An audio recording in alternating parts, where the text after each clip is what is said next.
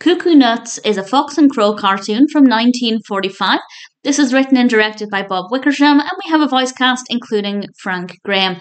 And I didn't love this. I didn't think it was that interesting, but I will say the final third really picked up. I won't say what happens towards the end, but the point there is that it does get a little bit better, but ultimately I still didn't care for it.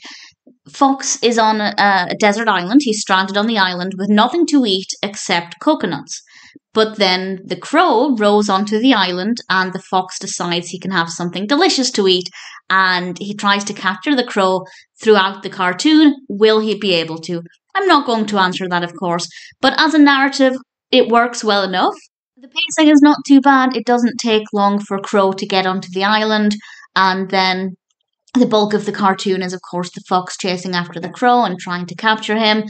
It's maybe just not that interesting to me for two reasons. One, the specifics of the narrative are just kind of boring. It works, there's nothing wrong with it specifically, it's just that there's nothing interesting about it.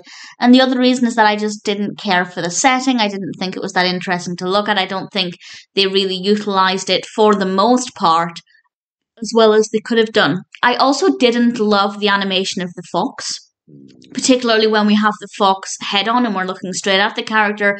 I just don't think the character looked very good at all. I wouldn't say it's badly animated, but compared to some other Fox and Crow cartoons, I just feel like it's not the usual quality. So I didn't love it. There's nothing necessarily wrong with it.